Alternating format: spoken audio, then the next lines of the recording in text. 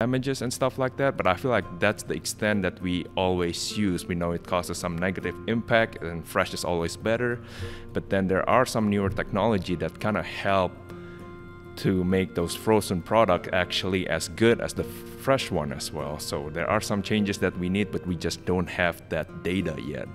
So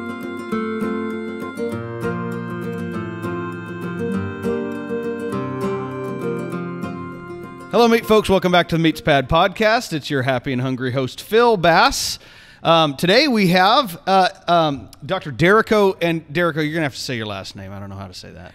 Last name's Satya Brada Setyabrata. yeah, yeah, yeah. Wow. It's pretty Um, pretty mouthful, but it's all right. it is. It is a Derico is just fine. Derico's Derico's fine. all right. Yeah. Okay. Well, Dr. Derico is uh, from the uh, University of Arkansas, and we'll get to that here in a little bit. But um, I, I just had a chance to visit a little bit with him about some of the research he's been doing, and I think it's very relevant um, because it's interesting. We in the meat business have been have been using freezing Yeah. for a very long time, but we don't really know what's going on. We haven't studied it, exactly, right? And, and I yes, think mhm. we're finally starting to get to a point where not only do we need to better understand it from a uh, a a cold chain um, production standpoint, but then also like how is that affecting quality? And so there's been a little bit in the past, yes. but tell me a little bit where are we right now with freezing um, uh, as as an industry, understanding freezing, and then Mm-hmm. also tell me a little bit about the project you you mentioned. So I think for from what I've seen so far, at least, we definitely as an industry use a lot of freezing. We freeze them, we get them, we either blast freeze them, or like we put them in deep freeze. Um, so we d- do that a lot. But then I feel like with the newer technology coming up, like faster freezing rate and how we're actually processing our samples, definitely there's a lot of changes with that. But then we just don't know. We just we know that freezing increases some thaw loss and things like that mm-hmm. because of the damages and stuff like that. But I feel like that's the extent that we always use. We know it causes some negative impact, and fresh is always better.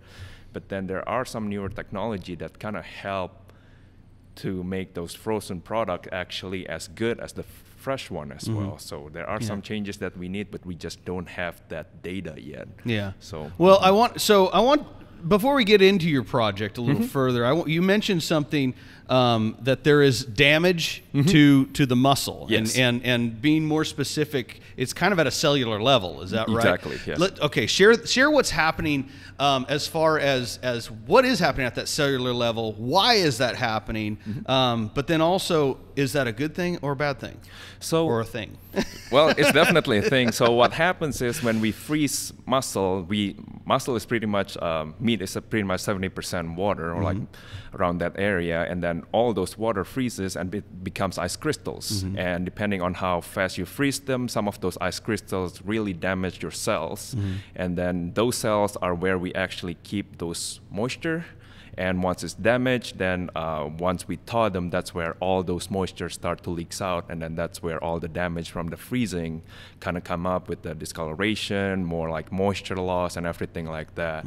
So that's definitely happening on that side. Uh, but there are some potential benefits in there. Uh, there are some studies that shows that with those damages, it's actually improving tenderness and potentially aging it as well when we're aging them. But um, definitely on that side, a lot more new uh, studies needs to be done to make sure that we're seeing those consistently and how we can actually optimize those process. Yeah. But so there's some. Generally, we see that there are some negative impacts, but then I think if we learn about it more, we can make it into a positive way that hey, this product, even though it's freezing, it's frozen, it's actually able to be improving your quality. Yeah. In the past, you know, folks would think of freezing as as a, a negative uh, situation, and I believe it, it it probably stemmed back to when processors finally started to tr- truly embrace freezing as a means to uh, maintain a type of product, but maybe it was already real close to its end use time, right? Maybe, yeah, and yeah, and yeah. now we're we're we're we're making a more deliberate decision to freeze, Yes. right? And so now we're trying to figure out when is the good time frame. And in fact, as you've mentioned, um, it does indeed improve tenderness. Yes. But you you said we also could encounter some other challenges like color issues. Yeah, as so I think And it's really depend on how we're doing it right now. Because whenever we do study, like we do it in the perfect conditions. Oh yeah, we're fast freezing it, single line and things Yeah. like that, making it like very fast. Yeah. But then when we're doing to the industry, we're just like, hey, put them all in a box and then put them in the freezer, and Yeah. that tro- totally change everything. put them all in a box, stack all the boxes, Boxes on a together, pallet into one big cube, and then hope hope we freeze that thing eventually. Yes, and right? I was like, maybe the center portion over there is still like, you know, still kind of fresh for like three, four, five days before it's frozen. So yeah, yeah, yeah, exactly. Well, and I think there's some research out there being being done right now with some other institutions trying to figure that side out. I know our our our group uh, is very interested. Yeah, I think that would be pretty cool to well. see like So- what's the actual industry freezing practices Yeah. and then how what actually they're doing, what they actually want to use. I think yeah, be pretty and cool what to is happening? You know, what's the what's the gradient that's that's occurring in that? You know, and, and what's Mm-hmm. the quality now from the product that's maybe on the outside versus what's on the So it very inside, yes. right? And and I like to, you know, when I've described freezing in the past to folks, I like to think of the muscle cell. It's kind of like a water balloon, and you mentioned it's Yes. it's mostly water in there. And Yes. Mm-hmm. what happens to water when it gets cold or when it freezes? It expands. Um, so you're breaking that water balloon. You're also creating ice crystals, Yes. depending on how fast you're freezing. And so um, you're definitely having some expulsion of the contents at some point, and that's that purge loss that Yes. we encounter. All right, tell us a little bit about your project that you that that you mentioned to me, and it was on steaks and roasts. Yeah, so I got a couple of study going on. We just actually finished it. So that studies we're looking into a different product size, so roast and size. Um, product size definitely impact your freezing rate.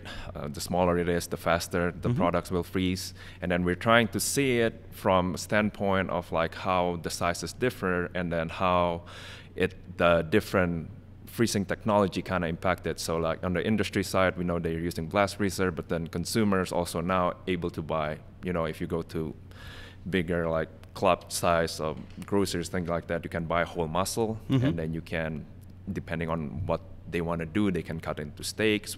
Or like they can freeze the whole thing, and then that can impact really differently. So we want to see as well how the kind of like your typical consumer freezing as Yeah. well. So like the chest freezer and then your refrigerator freezer, Uh-huh. I guess that's what I call Yeah. it. How that impacts the differences and quality from there. Wow.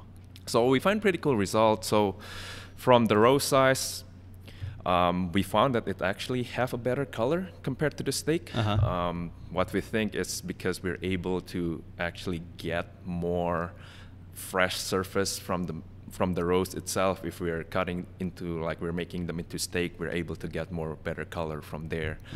Um, something else that we found was there's a trend that the steak product actually have lower ten- tenderness compared to the section or like the roast size. Oh, really? So there's a trend of that, and then overall, consumer did not find any differences. Okay. But then there's a trend for like the acceptability is actually decreasing with steaks, and then regardless whether you're using blast freezer, a chest freezer, or like your refrigerator freezer as a steak, it just continues to decrease. So, overall. so it was noticeable to the consumer in, in an overall acceptability stance. Mm-hmm. But then for Um, scoring wise, it was about the same. About the same. Mm-hmm, About the same. Yeah. Okay. Um, it, when you're talking about roast, describe the roast for me. Is it just like a, a, a two inch thick cut, so for the or is it roast, like a it whole was muscle? more like so for the steak, it was about one inch, Uh-huh. and then the roast was uh, probably about four to six inch. okay. All right. So Mm-hmm. pretty solid size. About about something you would see in a retail. Yeah, about something that you'll see on retail. We did three different muscles on this study. So we Mm-hmm. used the loin, uh, the eye of round, Mm-hmm. and the uh, top loin. Okay. And Yep. then I think overall the eye of round and the loin, the strip loin doesn't really got impacted. The top the top loin got some uh, different result on that one. Mm-hmm. little and different. Having a little bit more um, changes on the acceptability from the consumers. I think they have the most drastic one compared Yeah. to the others. yeah. Okay.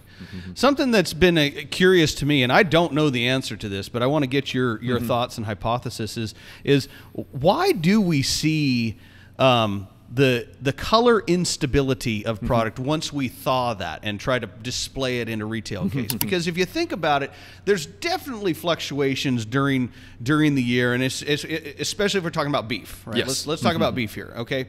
And we have fluctuation in pricing during during the year, and so there's better times to purchase certain cuts during the year. Yes. And if we if we purchase them and maybe froze them, brought them back out of freezing um, when the prices are high, but we bought them low, so we have a we have a good price Mm-hmm. difference there. We Yes. still make a profit. Okay, but we don't get that that good color stability. So Yes. tell tell me a little bit about what your thoughts on mm-hmm. are on on why don't we get a a a good color shelf life shelf life previously that, frozen yeah. product. So I think the, or at least what have been seen so far is like because of that, when you burst that balloon, like inside of that cell, there's also a lot of other enzyme pro-oxidants and things like that. So mm-hmm. when that burst, those that previously was contained and then takes longer to be released, now uh, suddenly like a bunch of them are released to the system, to the meat, and then that's been suggested to be the one that really causing a lot of more that instability. So because of that, more oxidations happening, more discoloration suddenly pops up.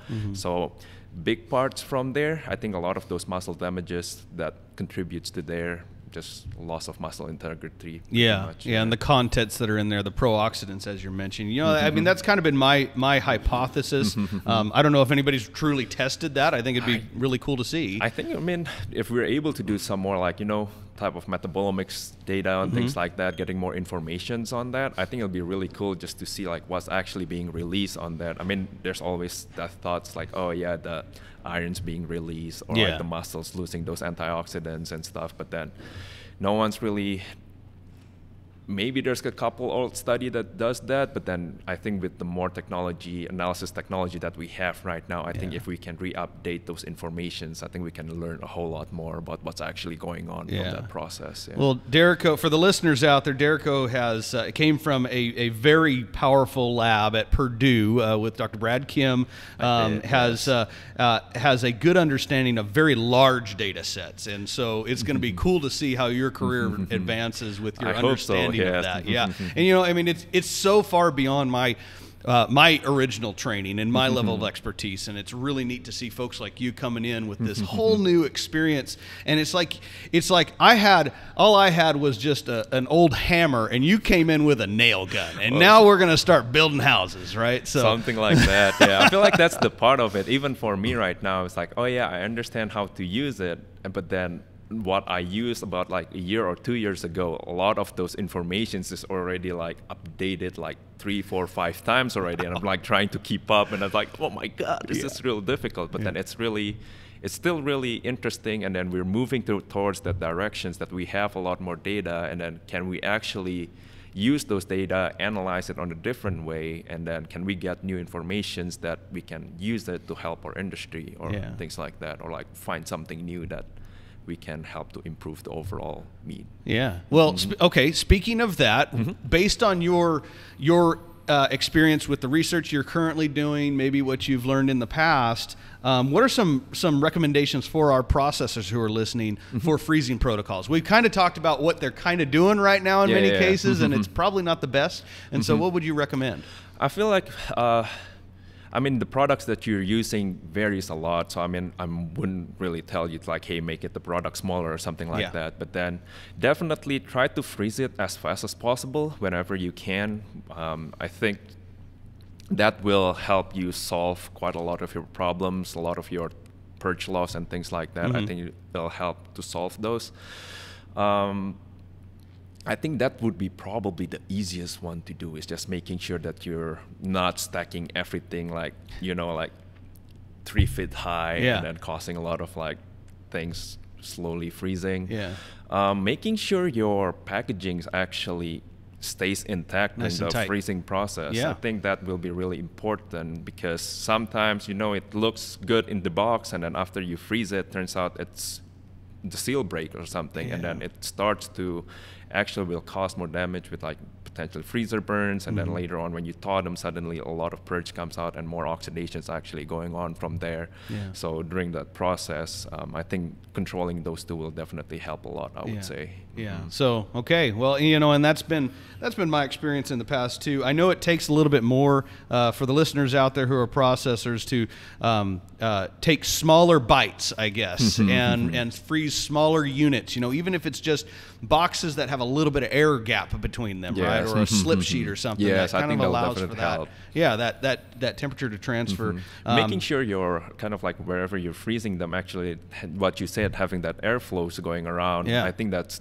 important part because like that that air is the one that really freezing your product Yeah. it's like the touching with the metals or something like that that helps but then that air in your blast freezer are the one that really moves your temperature Yeah. down so making sure that the air has access to your products That's right. that You have to you have to give it uh, a chance to share that energy and- Yes. and, pull that energy out, right? and so, um, well, good. Um, we like to ask uh, folks, uh, how did you get to where you are? How did you Ooh. become a meat scientist? And you're at the University of Arkansas, I great right school. now, it's yes. awesome to have you there. I'm glad that, that you're there and, and getting some good recognition. And so, how did you become a meat scientist? That is a very fun question. I Yeah. don't think uh, growing up, I come from Indonesia. Uh-huh. Meat science is not a thing there. Yeah. Uh, growing up there, it's like the animals just look like okay that's I, I see cow i see goats and Yeah. things like that and then i coming to us they're like the whole system's very different Yeah. so my background is in food science Okay. and then about junior year i saw like Brad posted like, "Hey, I'm looking for undergraduate works in meat science," and I never got taught about meat science. I don't know if it, what what is that. What is like, this? Sure, and then I go join there, and then turns out it's just like it's a lot of things. It's like it's you know like for me before meat is just all right. You harvest the animal, you got the meat, and then that's it. And then turns Yeah. out there's like a whole lot of thing behind it. If you don't take care of your animal, you're pretty much just destroying your whole product afterwards. And then if you do everything good with your animals, but then you don't process them well, then you're also destroying your product as Yeah. well. So it's very fascinating for me to select those those whole process, kind of how they interacting, and I I enjoy the biochemical work as well, and it's Uh-huh. like very interesting how the whole thing works. So that's just I don't know, it sucks me in after junior year, and then here. Never expect to be a faculty in Arkansas, but here I am, faculty in. Arkansas, doing meat science. So it's been great. It's been fun. Yeah. Well, you've come a long way, man, and, Yes, and that's yeah. really cool. And uh, and uh, hopefully one day we'll, we'll we'll talk Dr. Kim into joining us on the podcast. I think he will enjoy that. We'll I think get him one day, huh? He he loves to share share his research and stuff like Yeah. that. That'll be really cool. Well, I've known I've known Dr. there. Kim for a very long time. Um, uh, he keeps he keeps turning down his interviews, but I'd love to get him on here, especially talked about meat, meat and muscle bi- biology, mm-hmm, which is our, mm-hmm. our journal for the American Meat Science I think that'd be really Association, cool so- because those are open access journal, Yeah. and then some of them are, you know, like for our producers or pros- processors. Maybe for some of them that are interested, there are some. Those are freely available for them. It might be, you know, it might be not as easy for some of them to understand it. But then the nice thing is like you can just contact those professors, Mhm. whoever listed there, and they'll be happy most most of the time to share with you what's going on and help you out with that, or like Yeah. share their study. I think it'll be so. I think it's a good a good thing for them to have. I guess a good tool for them. It's like something. It, it's definitely the journal that uh, that that uh, most, hopefully, most uh, American Meat Science Association members are publishing in. Um, Yes. You know, it's it's it's robust, and uh, for those out there listening, Derico made a good point that um, it is open access, which means it's free to access. Access, and so all you got to do go to the search en- go to the search engine, type in Meat and Muscle Biology Journal if you want to, Yes, and mhm. and uh, you'll be able to access a whole mess of information and, and also like you said it's the, the authors are very willing and, and, and helpful Yes. um, to share that information And so yeah well um, I, I didn't expect to get on onto the topic of the journal but I'm glad we did I think yeah, it's yeah, it important pops up. I think it's it's important cool. to talk Yeah, it's about important. yeah so well Derico thank you so much for joining us Happy to today be here. and Thank you uh, yeah we'll me. we'll keep an eye on how your how your research continues to progress do. Yeah, keep on sharing what I have. very good thanks Thank you.